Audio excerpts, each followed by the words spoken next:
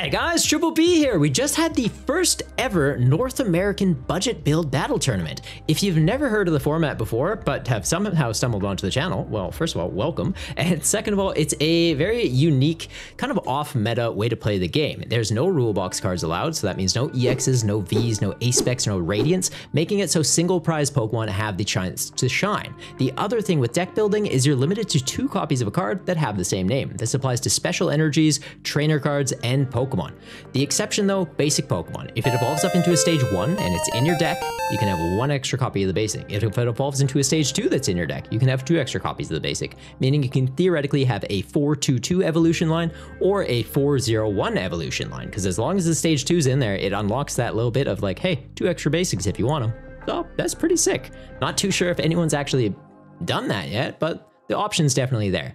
Item cards that are treated as basic Pokemon, the same rule applies. So fossils, you can have four copies of those. But all that aside, let's get into the top eight of the North American tournament. So in eighth, we are seeing Peterson, who played a Alolan Raticate. Very interesting take. It has the attack Super Fang for three colorless energy. You can put damage counters on your opponent's Pokemon opponent's active Pokemon until its remaining HP is 10, meaning as long as you have a way just to like get 10 more damage on it, you can apply some pretty scary pressure. And they did, since they have Brute Bonnet. So Brute Bonnet, as long as it has an Ancient Boost Capsule on it, which is in the deck, you can decide to uh, poison your active Pokemon and your opponent's active Pokemon. So Eradicate goes, you have 10 health left.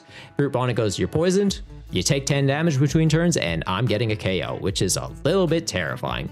To pay for the Eradicate's attack cost, we do have Reversal Energy, so when you're behind on prizes, attach that on there. It's an evolution Pokemon. It's going to count as 3 energy of any type, including colorless, so as long as you're behind on prizes, good to go. You're a dark type, so you can be using Dark Patch to attach a dark energy from the discard pile to it while it's on the bench.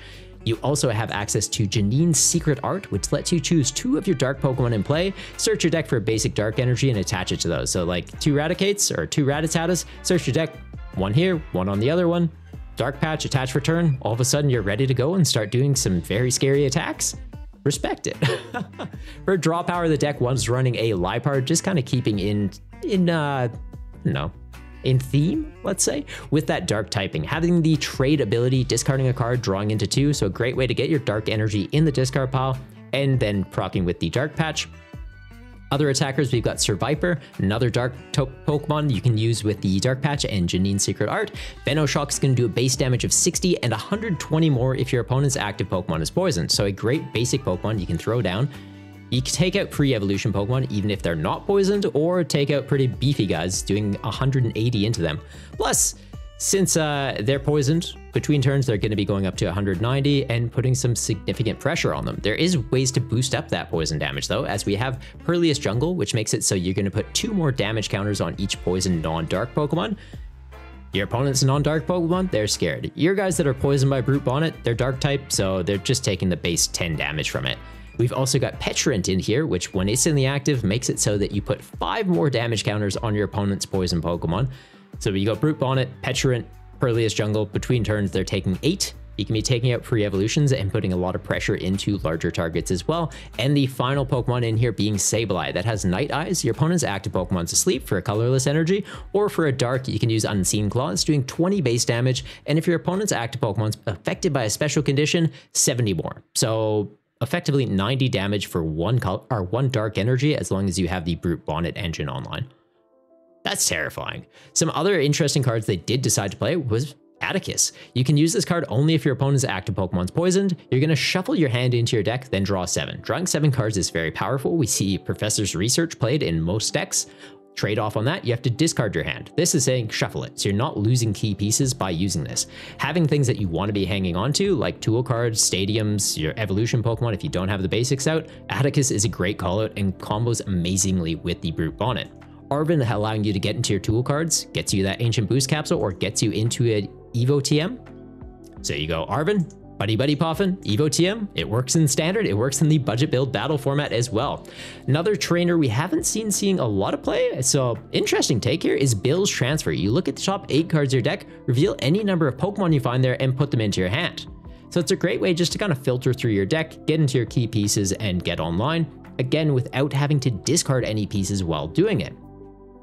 Janines, we've already covered. Clavel, you get to search your deck for three basic Pokemon with 120 HP or less, reveal them, put them into your hand. That's going to be getting you into your Pecharunts, your Sableyes, your Sevipers, the Leaf Brute Bonnet. Yep, your Rattatas, your Purrloin.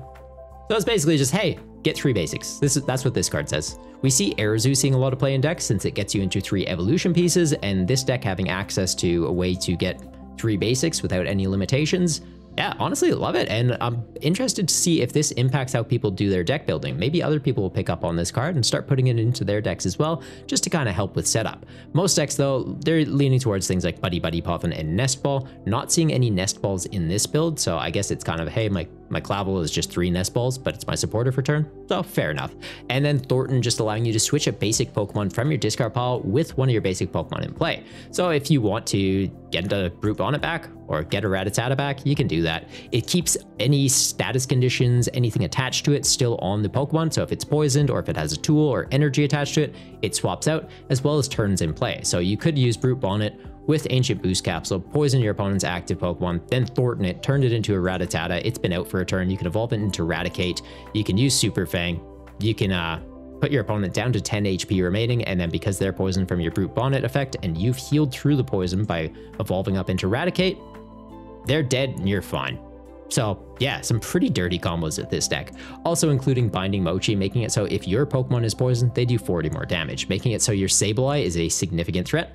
Viper is pretty scary, and I'm not too sure how that would work with Raticate. Raticate's an effect, so it puts them down to 10 HP remaining. It's not actually doing damage, it's just putting them down to, you're basically gone. So yeah, Binding Mochi is not going to fix that. They do need to be poisoned also to kind of get the crazy combo. In seventh place, we are seeing Slowen, who is playing a control deck of sorts. I'll be honest, I'm not a control player, so I'm not going to talk too, too much to this list. There is a lot of cards on the screen right now. That's pretty much what I have to say about control, and a lot of them scare me. Uh, it's got Totodile that has Big Bite, doing 10 base damage, and during your opponent's next turn, the defending Pokemon can't retreat, so it's a great way just to lock something in the active and kind of chip away at them. Comboing this with Mawile, who has Tempting Trap, Colorless Energy, does the same thing, locks your opponent in the active, and then on the following turn, if you hit them, you're going to do 90 more damage. So it's like Mawile, lock it in the active, go into Totodile, hit it for 100 now. Kind of scary. They also have Snorlax with block, so it, it, it's Blocklax, but in Triple B format, effectively you're blocking with Blocklax or you're blocking with Totodile or Mawile and just doing control things. So if you're a control player and you've been wanting to try out the budget build battle format, here's a great starting point for you. I'm not a control player, so I can't really talk too, too much for it. You got Misfortune Sisters to try and mill your opponent's item cards from their deck before they draw into them. You've got Eri to discard your opponent's item cards before they get to use them, like their rare candies from hand.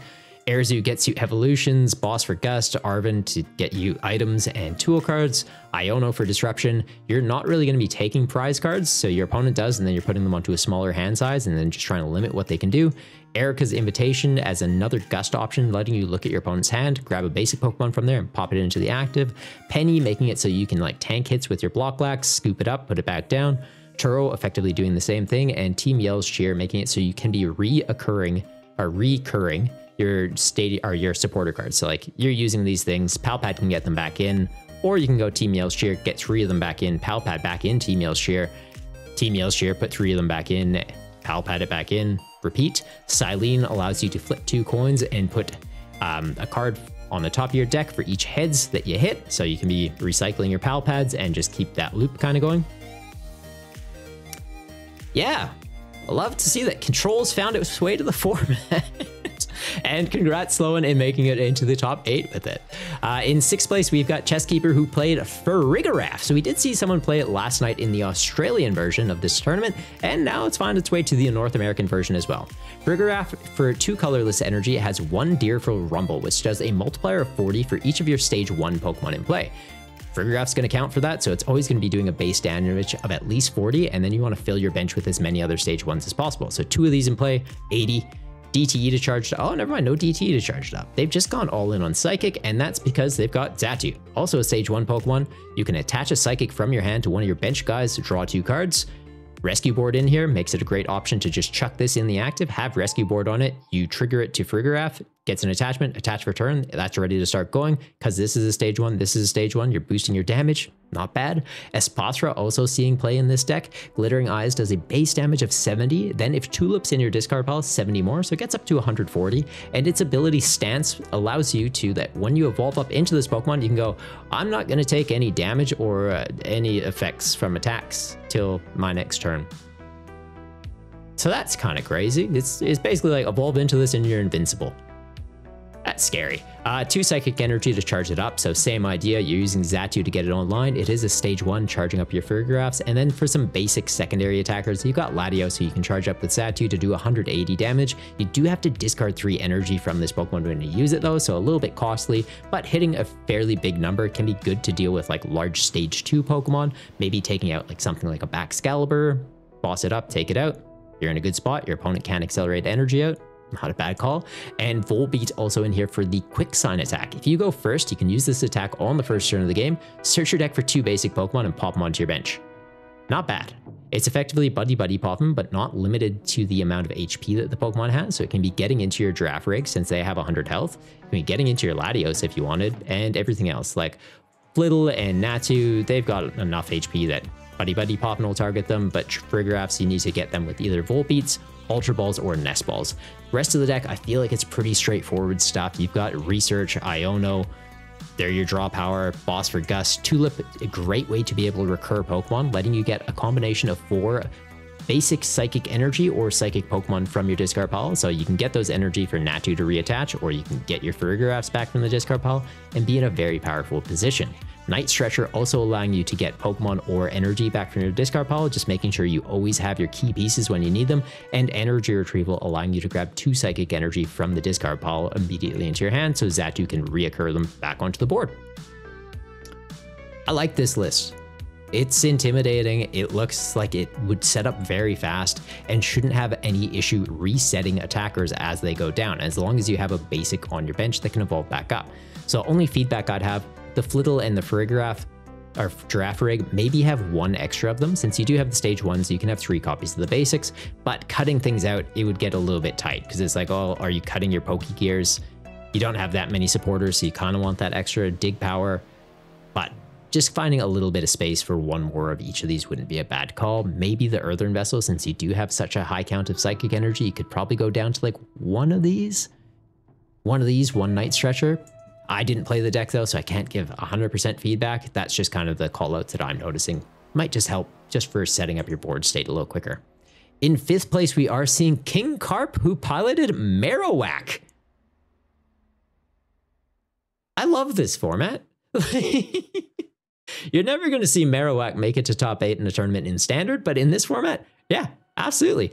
Any deck has potential as long as you take the time to refine the list, do proper deck building, and find the great combo pieces to make it work. Marowak has the attack Bone Throw, 30 damage for one fighting energy, 30 damage to one of your opponent's bench Pokemon. Can be great to take baby Pokemon off the board, getting easy prizes, and setting up KOs. The second attack on here doing 120 damage, Boundless Power. During the next turn though, this Pokemon can't attack, so you need to be able to like switch it out of the active and pivot it back in.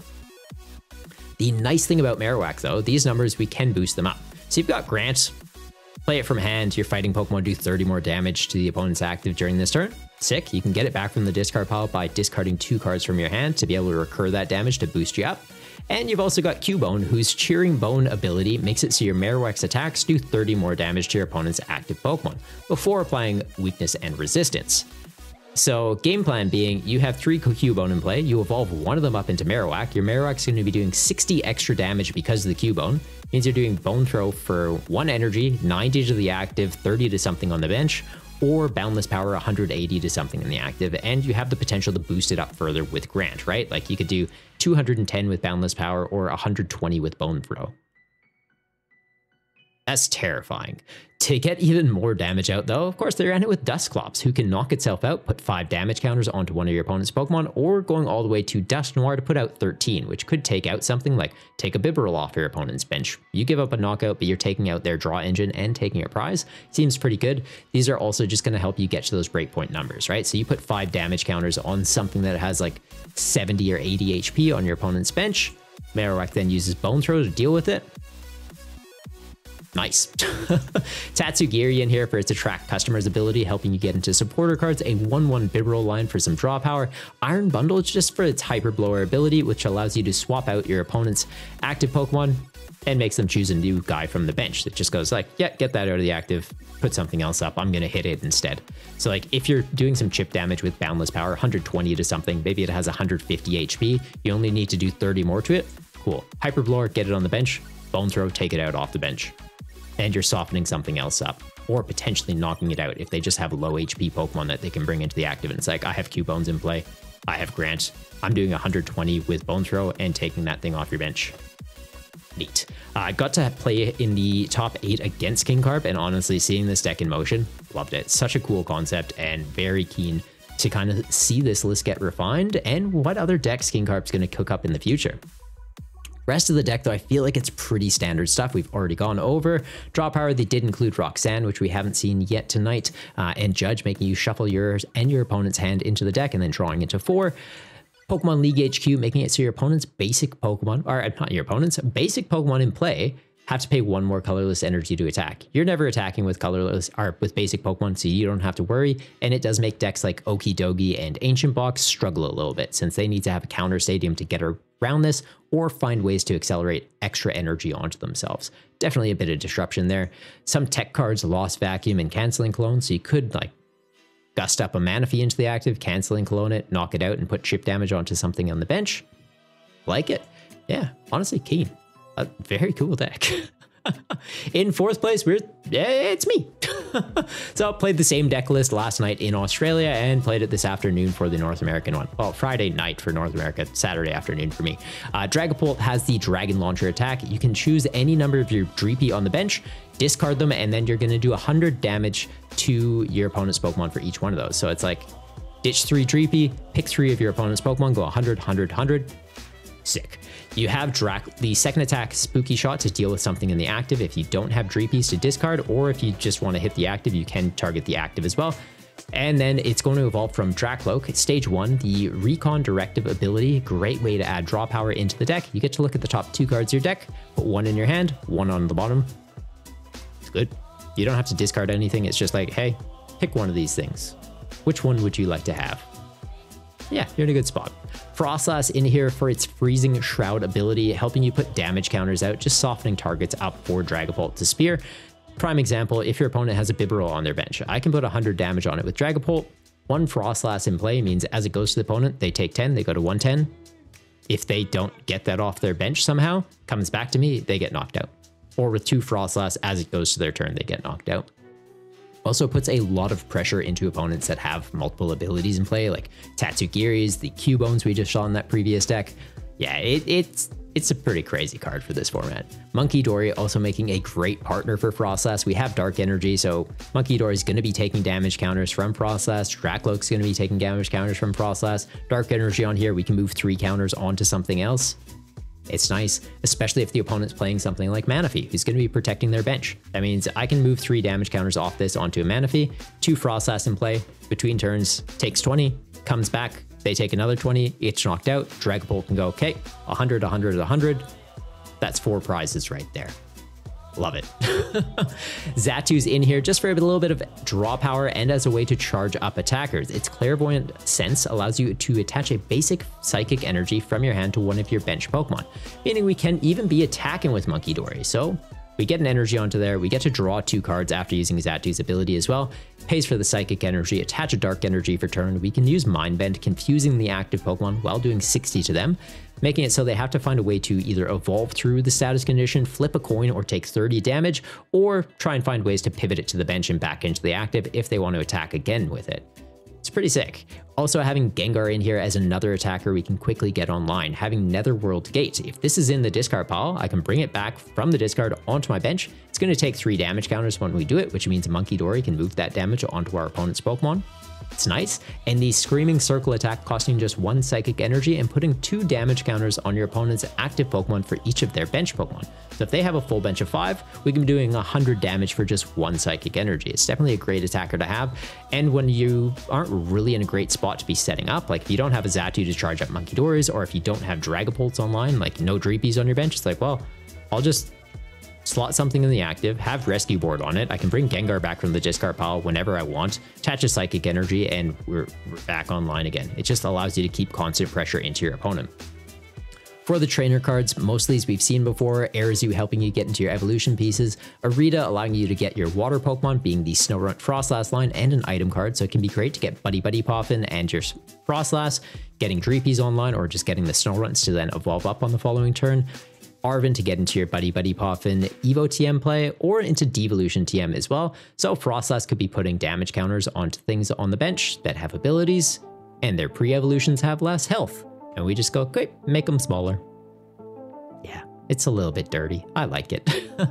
also having a copy of Lost City in here, so when we do deal with Manaphy, we can make sure that it's never coming back. We knock it out, it goes to the Lost Zone, they're never going to have bench protection again, and Dragapult's just going to run amok. Dragapult's discarding Dreepies from play that are not getting knocked out, so we don't have to worry about them going in the discard pile, are in the Lost Zone. It's a, yeah, really solid card to include in the list. And canceling cologne, so we also have the ability to just gust Manaphy in the active, spritz it with a little bit of this, and then start attacking their bench.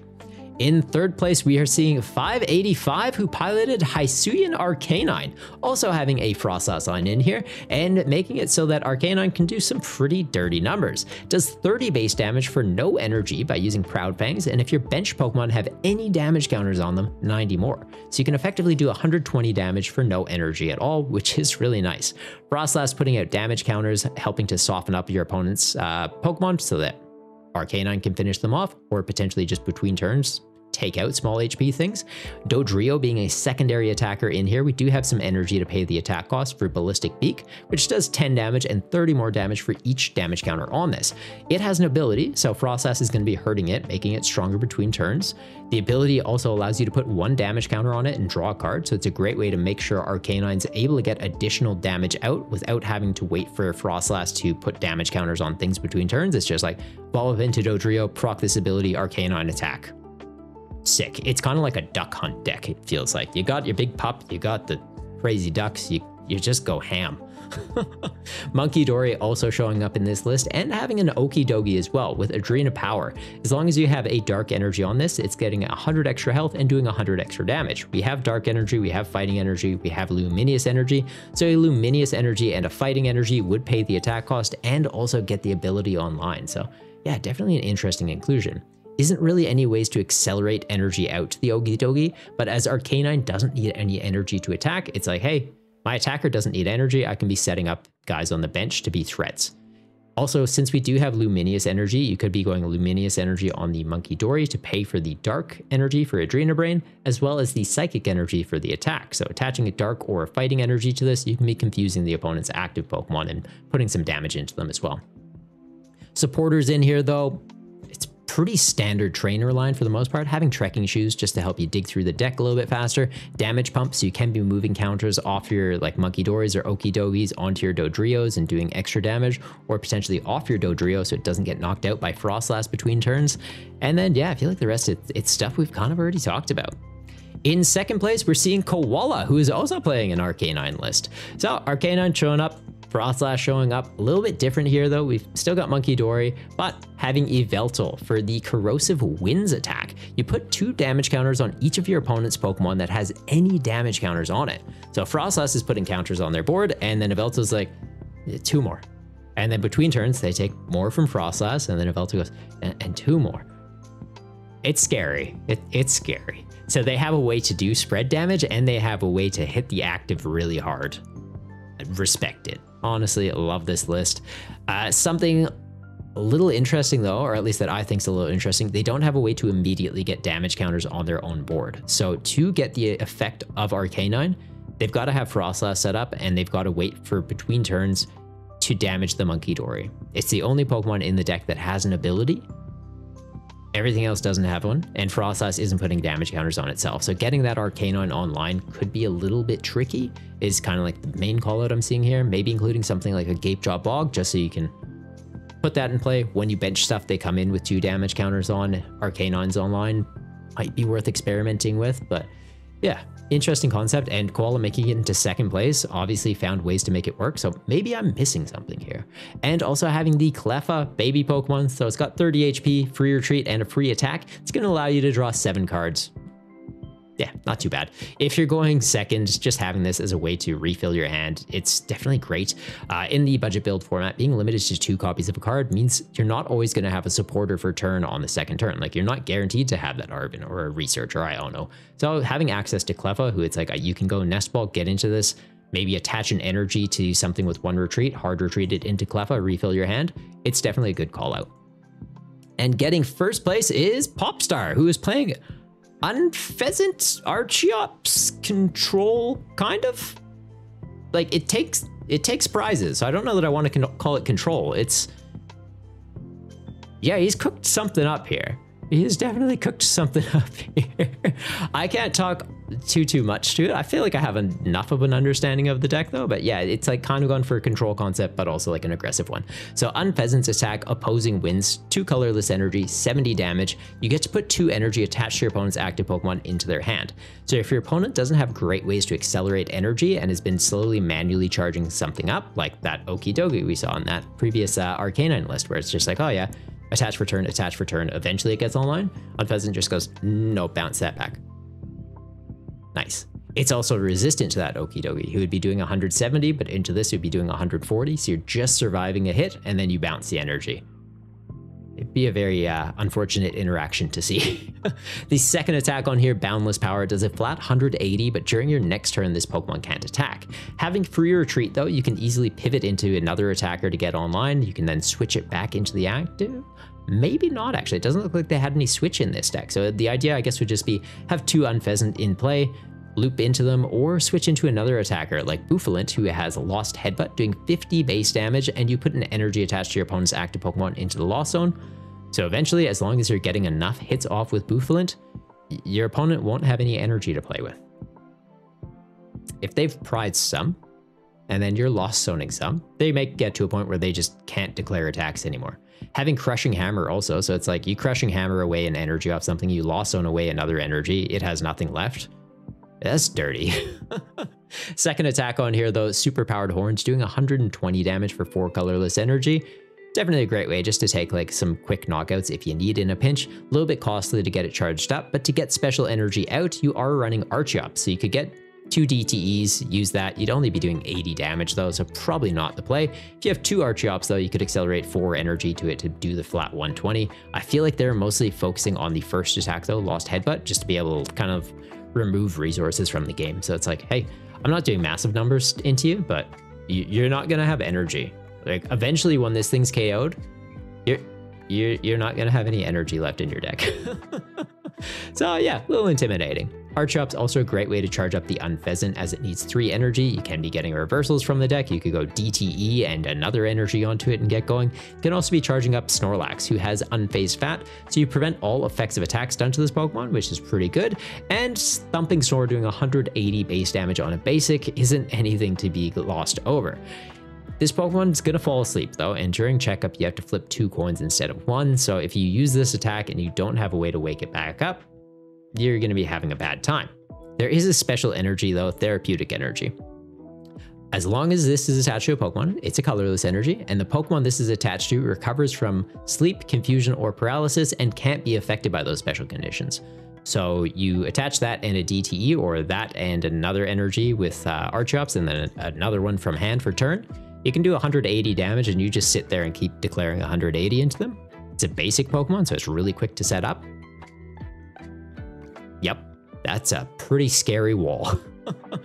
the other cards in the deck, we're seeing Arven, Boss's Orders, Iono, Eri showing up. Frustrating card when you see your opponent playing it, especially if you're dependent on something like Rare Candy or have been holding onto a Super Rod to be able to get some energy back from the discard pile into your deck so you can find it. It's like, well, this is going to get knocked out. I'll just Super Rod these things back. And then they go Eri, and you go, well, I, I guess I'm not doing that then. Yeah, that's fun card. Good card when it's in your deck. when it's in your opponent's, oh, it's frustrating. Uh, Airzu to get the evolution pieces out, and Roseanne's backup, just allowing you to recur the special energy since it gets an energy from your discard pile back into your deck, a stadium, a tool, and a Pokemon. So you can be getting Academy at night back. You can be getting a handheld fan, which we haven't even talked about yet. So Bouffalant will be lost owning an energy, and then if they hit you, you're going to move an energy from them onto one of their bench Pokemon. So you put it onto something that's never going to attack. yeah, this is a very disruptive deck, but I like it because it takes prizes. So like honestly, Popstar, if you're watching this, like I'm kind of terrified of this and respect the heck out of you for building it. Uh, but yeah, I feel like the rest of the deck kind of speaks for itself. Academy at Night being a great new stadium coming out of Shrouded Fable allows you to put a card from your hand on top of your deck. So if you're worried about your opponent Ionoing you, you just put a draw supporter on top, right? They've got Iono themselves, they've got Eri, so it's just like, hey, I want to like hang on to resources. So maybe saying draw supporter wasn't the best choice of words for this deck because they don't have a lot of draw supporters, mostly reliant on Bibarel, but just knowing like, well, I have an Archen, I've got the Archeops in hand, I want to evolve up into it next turn, I'm just going to Academy at Night, put it on top of my deck. If I get hit with an Iono, I still have my Archeops and I'm in a good spot. So like stuff like that, you can kind of play around with it. Did play against Popstar twice in tonight's tournament. And yeah, whenever this card came down, I was kind of using it as a Iono counter. I was just like, well, I'm going to put my Professor's Research on top of my deck. It's like worst case scenario, I, I know I have it if I need it. Or before using research, if there's pieces I didn't want to discard, like I had a Dragapult in hand at one point, I was like, well, I'm just going to put that on top of my deck, play research, I get back into the Dragapult, I don't have to worry about getting it back into the deck. So yeah, really interesting stadium and interested to see what other decks start implementing it. But that's it for the top eight of tonight's tournament. I hope you guys kind of liked this breakdown. And if you're keen to try out the budget build format for yourself, check the description of the video because there'll be a link to my tournament page. There's one that's going to be hosted in Australia every Friday night for them, and one that's going to be hosted for North America every Friday night going forward. So there should be a time zone for you. Hope you guys enjoyed this and would love to hear what decks you're considering cooking up for the next tournament. But till next time, stay golden, you Goombas.